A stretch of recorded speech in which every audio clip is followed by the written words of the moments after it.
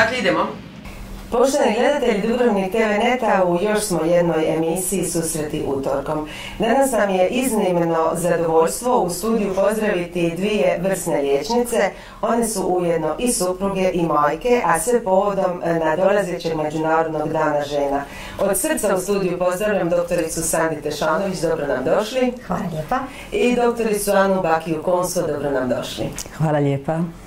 Evo, e, prije 109 godina obilježen je prvi Međunarodni e, dan žena. Mene sad e, zanima iz perspektive svih ovih društvenih funkcija koje sam spomenula, što je zapravo nama ravnopravnost donijela? Može da počnemo od doktorice Bakije.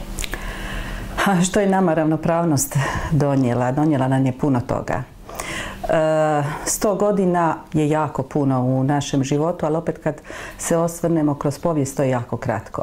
De facto možemo reći do jučer naše bake nisu imale pravo glasa, pa onda sve nadalje. Donijela nam je jako puno e, u pravima, ali i u obavezama. Tako da su danas žene e, svakim danom sve više i više opterećene. E, vi ste ujedno e, obje i poduzetnice, vlasnice ste e, uspješnih poliklinika Kutis i Higea. Vi ste doktorice Tešanović nova poduzetnica, tek ste u stvari zaplovili možda ima godinu ako se ne varam da na privatnim vodama. Je li vam to donijelo puno promjena zapravo u životu? To mi je donijelo puno promjena u mom životu kojima se u biti nisam ni nadala. Kad je čovjek odlazio i uletio u te u to, taj privatni posao ovaj, čovjek kao liječnik, ja sam liječnica već eto skoro 30 godina, onda misliš samo o tome kako se liječe ljudi, kako ćeš uh, približiti tu svoju struku njima, kako ćeš biti što uspješniji i što bolji i nisam razmišljala u biti o poduzetništvu. E, tako da tek sad početkom svog rada sam shvatila u stvari težinu ovog posla jer se čovjek mora brinuti o tisućama stvari znači o problemima kako nabaviti e, određene materijale, kako pokriti sve troškove, kako to sve iskombinirati da sve to bude dobro, a ujedno da ostanem e, pribrana i mirna i da ostanem e, postojana u svom poslu koji, zbog čega sam tu. Da, to je prvenstveno liječnički posao. Evo, vi ste zapravo, već sam spomenula, liječnice, majke, supruge. Kada bi vas netko pitao da stavite redoslijed svih tih angažmana, kako biste e, to napravili? pa mislim da tu, tu ne treba puno razmišljati. Prvo sam majka, kćer, sestra, supruga i to je ono što što je moj život, jeli, što je ovaj, na prvom mjestu i zdravlje, zdravlje, samo molimo Boga da nam da zdravlje. A onda je na drugu stranu moj posao. Odnosno vidite da tu malo ima mene. da. Kad, ili ste sve to u stvari vi. Sve to, tako je. Ali posao je jedno drugo. Ja, posao je, kad si u privatnoj praksi, a ja sam evo eh, krajem prošle godine eh, sa svojom poliklinikom proslavila 15 godina, nadam se, uspješnog rada eh, i kad si i liječnik i privatni poduzetnik, onda živiš sa tim poslom ali zaista da ne, ne zvuči patetično po cijeli dan 24 sata. Zaista. E, vi doktorice Tešanović imate troje djece i imate dvije odrasle čeri i manjega e, sina. Kada zapravo nameće se jedno pitanje kad e, i kao žena i kao majka i liječnica uspijete obaviti sve e, ono što se zapravo, što život od vas traži i što svi drugi od vas traži? E, to je jako teško bilo postići. E, u principu ja sam e, bila mlada mama, prvi put sa 27, drugi put sa 29 godina. O tome se uopće nije razmišljalo kako će se sad sve to izvesti sa mojim poslom i sa svim. Sve išlo nekako u hodu. E, I ja moram reći, da uvijek naglašavam da nije bilo moje, moje obitelji, znači obitelji e, ja ne bi, ne bi uspjela e, biti vjerojatno dobra majka, a isto tako niti mi mogla imati ovakav jedan uspon u, u svom poslu kao, kao što imam. A onda na, naravno da je treće dijete došlo kao jedno pravo osvježenje, tako da mi vraća na neki način mladost i da nas zabavlja. inače ja sam bez danas po horoskopu, tako da meni treba uvijek neke neke živosti u mom životu. A toga ne nedostaje. Toga ne nedostaje. E, kad ste se odlučivali za studij, dakle medicinski fakultet, jeste li onda razmišljali što će to za vas jednoga dana značiti kao ženu? Pa ne, onda si u tom razdoblju života si, ja bih rekla, mlad, nadobudan, optimističan. E, nisam razmišljala, ali mislim da ne bi tu ni, ni davala, ni strašila nekakve e, mlađe generacije ili e, ženske osobe koje razmišljaju o tome. Mislim da čovjek kad nešto voli, tada krene u to, puno lakše obavlja, a za sve se nađe vremena. Za sve se nađe vremena uz dobru organizaciju i naravno ovo što je kolegica Sandi rekla uz podršku. Podršku supruga i moje obitelji bez toga naravno bi bilo puno, puno teže. se potpuno. E, evo, zapravo iz razgovora s vašim kolegama Došla sam do spoznaje, a oni mislim da neka straživanja isto tako pokazuju, da je medicinski fakultet e, postao zapravo sve više ženskim fakultetom i da se tu zapravo u jednom vremenskom razdoblju nešto dogodilo jer prije je bilo puno više zapravo studenata samim tim i muških liječnika nego što je to danas slučaj. Kako to objasniti? Je li to možda ta ženska sposobnost bolje organizacije svih obaveza u životu ili? To je, to je, mislim, kompleksno jedno pitanje i sigurno je rezultat brojnih čimbenika. E, jedno od toga je sigurno i ovo što, što govorimo o, danu žena. E, drugo je što e, medicinski fakultet upisuju zaista najbolji, a žene su jako uporne, pa čak i u toj dobi kad su mlade, znači e, bolje su sistematični, ne možeš reći baš, ali ovaj, upornije su, ajmo tako reći, od, od mladića. E, zatim e, postoji još jedan faktor, a taj faktor je da medicina više nije taka, tako uspješan posao i takav posao koji donosi novaca toliko, pa naši, naše osobe muškog spola, naši muškarci ipak idu u nekakve druge poslove. Možda su to samo evo dva razloga koja dovode do toga da zaista medicina postaje sve više ženski posao. Se slažete? Ja se slažem s tim, iako mi ponekad žao u stvari, iskreno govoreći, E, kada dođemo u dvoranu, sad kad su kongresi, kad je uglavnom 90% žena, a 10% muškaraca. E, mišljenja sam da žene mogu sve, da mogu biti uspješniji od muškarca, ali isto tako sam mišljenja da određene struke, određene grane u medicini moraju biti vezane isključivo za muški spol. Osim toga, mi ne smijemo zaboraviti da ipak smo mi majke i da ipak e, tu jednu nježnost i to jedno vrijeme moramo imati za svoju djecu. A određene grane medicine, E, su ipak vezane za muškarce. Znači za duporavak u bolnici, za duga dežurstva, za predavanje struci u malo tako, većem smislu. E, da, u stvari je to odličan šagor za sljedeće pitanje. E, koliko društvo izlazi u susret tome ili koliko uvažava to majčinstvo?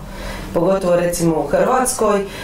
osobno znam slučaj kad je vaša kolegica jedna napustila bolnički sustav upravo iz ovih razloga da bi mogla zapravo e, više vremena provoditi sa svojim djetetom nakon jednog poprilično traumatičnog iskustva e, kad je u vrtiću, dakle dijete bilo e, jako malo, njeno dijete odnijelo za majčin dan cvijet ocu koji je više vremena provodio s njime nego njoj kao majci. Pa ja mislim da sustav u biti ne razmišlja puno o tome imam takav dojam da ne razmišlja puno. Mislim da se još uvijek je sve na individui, znači ona se sama mora izboriti za svoj status u nekom društvu, na odjelu, u nekoj ambulanti da bi to ostvarila ili mora biti sposobna da prihvati sve sportski u životu, pa tako i to da dijete odnese cvijet tati. Ja bih isto rekla da po defaultu mame nisu uh, number one, nisu prve, odnosno da i mama i tata trebaju dijeliti ulogu u ovaj, odgoju djeteta i isto ne bi to tragično ovaj, shvatila da pače da odnese jako, jako drago, malo za frkanci, ali mislim da, uh, kako bi vam rekla, da društvo na taj način olakšavati nama kao majke, zaista ne vidim tu potrebu. Jer i očeva uloga e, je važna uloga u životu i sigurno ima svoje ovaj, teškoće o kojima mi danas ih nećemo, ali ne smijemo ih. Bez, bez muškaraca nismo potpuni, tako da ja zaista nekako uvijek ističem tu ravnopravnost. Mhm. Ravnopravnost u odgoju djece, čak i uopće u, u životu. Ravnopravnost znači i u odgoju djece, ne da se sad zato što sam majka pa da ne bi trebala ovaj dežurat, iako moram, evo sad kad ste me ovaj, moram se sjetiti eh, kad sam bila mlada, bila sam trudna sa svojom eh, kćeri i radila sam na hitnom prijemu. I nekoliko dana se budim, ono, nakon noćne službe, joj, kako pa danas nije bilo gužve ono, sva sretna, oni se svi smijuli, ali nisam ja to primijetila, nisam davala tome pozornost. Nakon trećeg dana gledam onu knjigu, vidim, pa bilo je tih ljudi. Mene je kolega, tomu do, do današnjeg dana ne mogu zaboraviti, uvijek kad ga vidim spomenem, eh, on je mene jednostavno puštao da spavam, on je odrađivao i moj i svoj posao. E, to su nekakve ljudske, kolegijalne, prijateljske, ali mislim da društvo e, u cijelini mi moramo ono što smo naumili, u što smo zagazili, moramo ispravno, isto kao i muškarci, odraditi do kraja, a na drugi način se organizirati.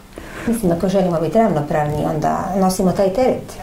Dobro, možda je zapravo i dobar pokazatelj e, tog malo i razvoja društva i hrvatskog društva mogućnost zapravo da očevi koriste dio porodiljnog, da se majka e, može vratiti na posao i tako dalje.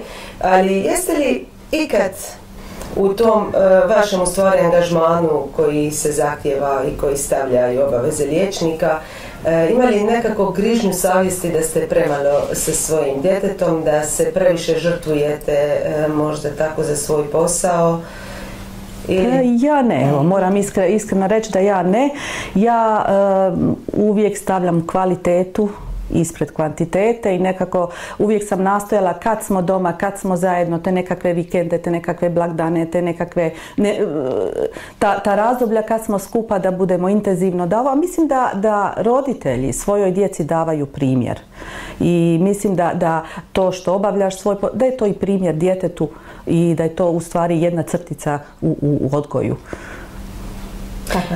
E, kad vas neko pitao e, držite li se uspješnim i zbog čega ste primarno uspješne žene, što biste odgovorili? Ja bih rekla da sam uspješna jer imam divnu obitelj. Sredna sam s njima e, zato što imam divnog muža, zato što imam divnu djecu i zato što puno radim. Sve funkcionira, sve je dobro. Pa, uspješna, ja sam sretna. E, uvijek u životu nekako sam ovaj, e, e, voljela i, i, i uživala u malim stvarima. Nekako sam uvijek život nastojala ovaj, prihvaćat bez puno lamentiranja, bez teškoće svesti na minimum i sretna sam jer nemam nekakvih težih problema u životu. A jesam li uspješna? Pa mislim da sam dosta napravila u životu, da sam liječnica, da sa 15 godina vodim e, polikliniku, da sam docentica na našem sveučilištu, da sam sudjelovala u osnivanju, u, djelovanju e, tog našeg studija e, i preddiplomskog i diplomskog na našem sveučilištu. A da li sam uspješna, to će ali ne zamaram se. Evo, da me niste pitali, nije mi to u fokusu. Ali da sam sretna, jesam. Bogu hvala i samo zdravlje. Život. To je sreća. Je, je. Da. E, imate dakle i e, kćeri, e, dr. Stešanović dvije i sina. E, je li ih isto odgajate? ja ih isto odgajam. Doduše, oni su se, oni su, dakle, velike razlike između djece, tako da su dvije kćeri odgajanje u jednom vremenu mog života, a sin je na neki način sam e, sad s nama.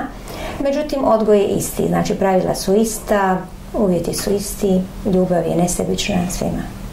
E, koliko zapravo mojke žene kao majke mogu utjecati na e, položaj žena u društvu. U ovako patrijarhalnom društvu kako definitivno hrvatsko društvo jes, baš onako izrazito. Pa da, to sam, to sam i malo prije ovaj, rekla da smo mi svojoj djeci ipak nekakve, nekakvi idoli, nekakvi pokazatelji, nekakvi primjeri u njihovom životu i mislim da, da jako, jako puno. E, doktorice Bakija Konsuo, jesu li žene danas, dakle vi ste dermatologica, žene žrtve tog imperativa ljepote, mladolikosti, koliko zapravo je njima to biti mlada i izgledom i pratiti sve te nekakve trendove, zapravo veliko žrtvovanje svog slobodnog vremena u u odnosu na muškarce? Imate li možda primjer iz vaše klinike? Pa,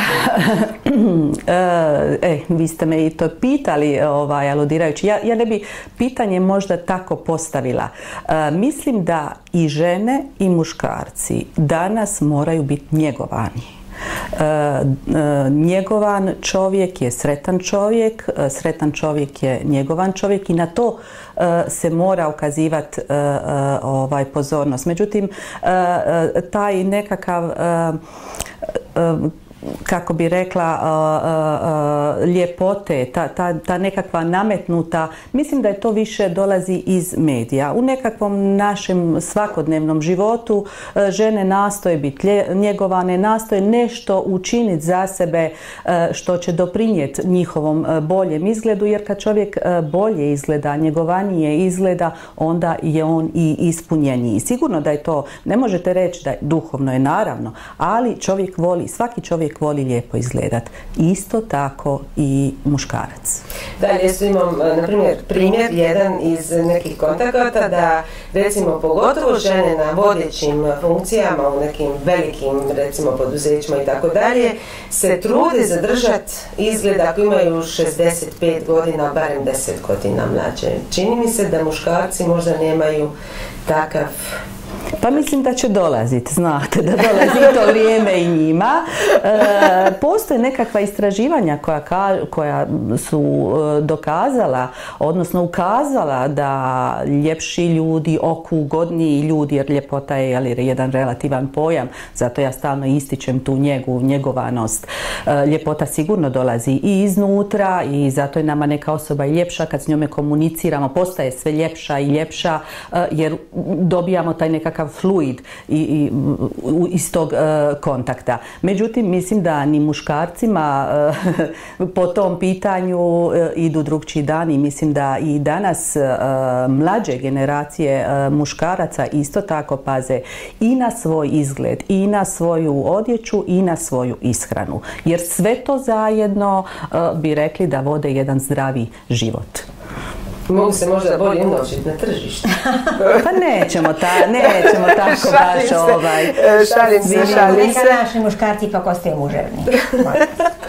definitivno, definitivno. E, što je zapravo mladolikost? Doktorice Tešanović.